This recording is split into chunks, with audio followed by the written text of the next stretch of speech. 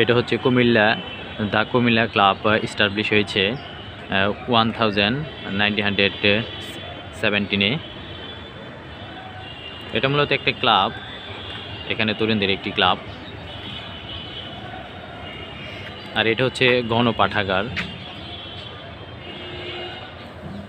এখানে প্রতিদিন বিকেলবেলা অসংখ্য মানুষ আসে ঘুরতে।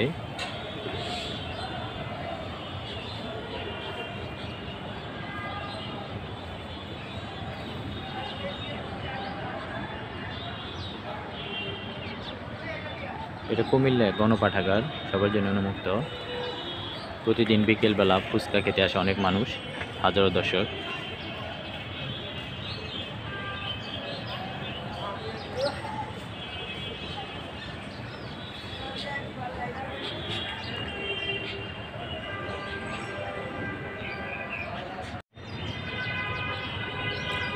এটা হচ্ছে কুমিল্লা গণপাঠাগার।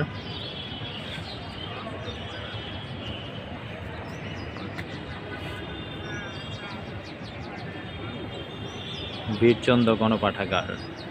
নগর মিলনায়তন স্থাপিত হয়েছে আঠারোশো পঁচাশি সালে কুমিল্লা।